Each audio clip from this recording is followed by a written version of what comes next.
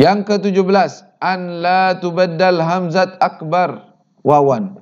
Oh, jangan mengganti hamzah dari akbar dengan huruf waw.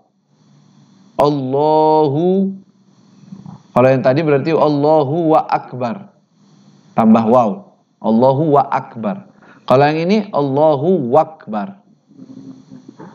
Jangan mengganti hamzah tak uh, lafat akbar dengan waw.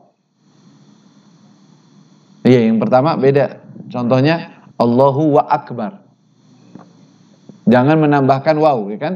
Syaratnya. Kalau ini nggak menambahkan waw, tetapi apa? Mengganti hamzahnya diganti waw. Yaitu bacaannya Allahu akbar.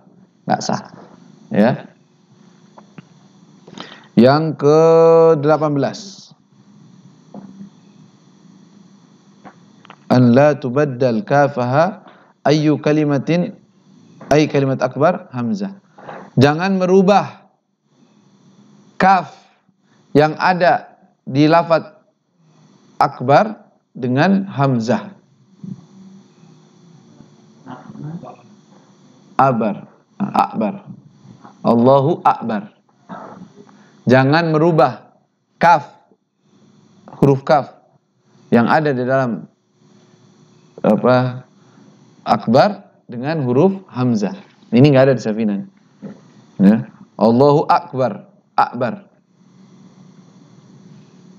Ini kayak anak kecil. Taib yang ke kecuali kalau memang dia nggak bisa ngucap, nah, memang dia nggak bisa ngucap kalimat kak misalnya sama sekali, ya udah boleh aja dia sih sah bagi dia aja. 19 an la yazida fi maddil alif allati bainal lami wal ha ila haddin la yarahu ahadun minal qurra wa huwa alimun bil hal ay la yazid an sab'a al alifat Jangan terlalu yang ke-19, jangan terlalu panjang di dalam mengucap kalimat Allah. Lafzul jalalah. Lafzul jalalah kan boleh panjang ya. Allahu akbar, boleh. Jangan terlalu. Arti terlalu melebihi dari batas maksimal dari mat. Matnya maksimalnya berapa? empat sab'a alifat tujuh alifat atau dengan disebutnya empat satu alif itu dua harokah berarti berapa empat belas harokah atau empat belas harokah ya. Yang kalau kita gini-gini itu empat belas. Allahu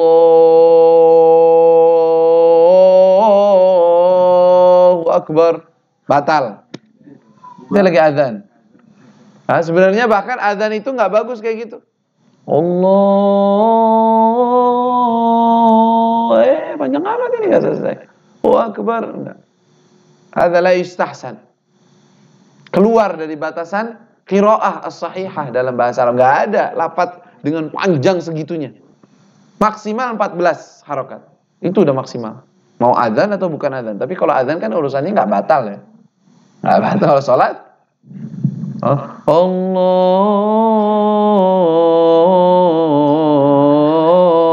Allahu Akbar. Hehe. Akhirnya yang sebelahnya Allah. Salah. Bukannya mau salat, akhirnya kirain lagi tilawah ini. jangan jangan kayak gitu. Ya. Dan kalau terlalu panjang sampai lebih dari 14 harokah nggak sah. Begitu juga adzan sebenarnya nggak bagus. Bagusnya nggak apa-apa nagma, nagmah, nagmah itu maksudnya pakai lahan, pakai nada, itu nggak apa-apa, boleh aja. Tapi jangan terlalu panjang. Kalau sekarang kan panjang-panjang. Apalagi lafadznya itu, kalau lafadzul jalalah memang paling bisa dipanjangin. Tapi yang lain, ya rahmatullah. Yang lain misalnya apa? Hayya ala salah. Itu nggak boleh lebih dari dua harokat loh. Hayya ala salah. Aduh, Selesai kita udah tidur udah bangun belum bisa jawabin adzannya dia. Saking lamanya.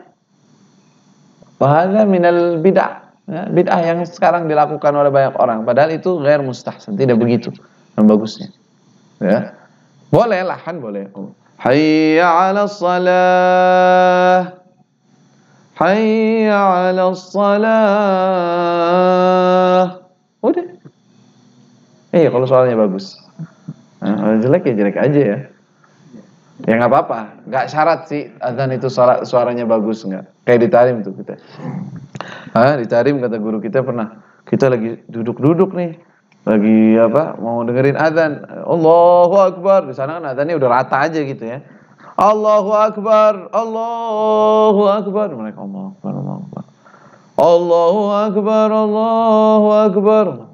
Pas hayya ala salat hayya ala salat kaget tuh semuanya hayya ala salat haula la quwata illa billah. Bener-bener menjawab la haula la quwata illa billah dari hati itu kayak orang di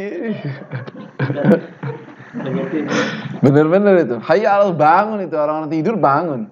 Sawa itu. Tapi kalau yang kayak sekarang kan hayya ala salat tambah tidur kayaknya. Nah, jadi bener-bener ada yang kayak gitu ngucapnya adanya. Ya. Di sini diteriakin sama warga kalau begitu adanya. Dikomplain langsung. Ini adanya paling jelek ini. Hah? Paling berisik ini. Kenapa? Adanya ganti muadzinnya. Kenapa begitu? Alah, haula wala Ya, kenapa kita sampai ceritanya azan nih? Hah? Memang kita lagi bahas azan? Oh, gara-gara Allah ini. Allahu Akbar ya. Mad, tidak boleh terlalu panjang, melebihi 14 harokat tulis berarti ya. Tidak boleh terlalu panjang dalam lafaz jalalah melebihi 14 harokat.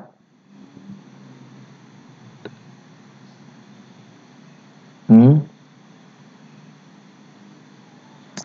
Yang ke-20 tidak bertujuan yang lainnya. Ini apa? Tidak bertujuan yang lainnya. Dengan takbir itu tidak bertujuan dengan yang lain, yaitu apa? Seperti takbir intiqal. Seperti takbir yang untuk pindah. Allahu akbar ruku. Duh. Atau dia belum ruku memang, belum langsung badannya tapi Allahu akbar maksudnya mau ruku, bukanlah Allahu akbar mau takbiratul ihram.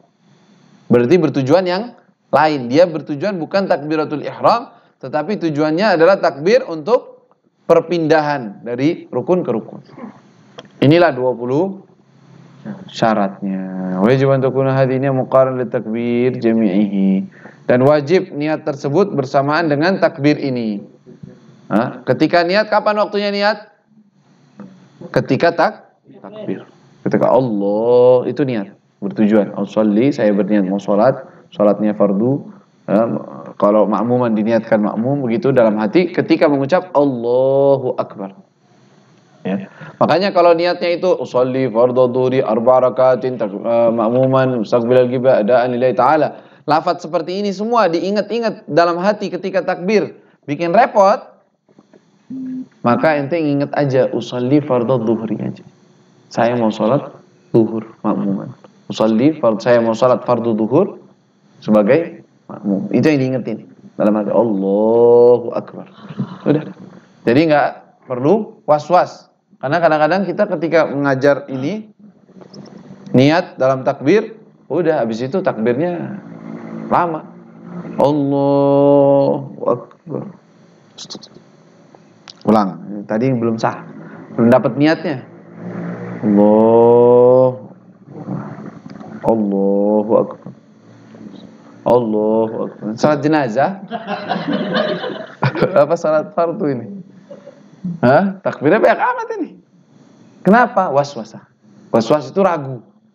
Udah belum ya? Udah niat belum? Lah, niat itu kan cuma dalam hati, inti tujuan aja. Ya, inti ingetin, saya mau sholat fardu nih. Ini duhur, bukan asar. Sholat duhur, fardu, makmum. Udah ingetin itu di dalam takbir, udah gitu aja.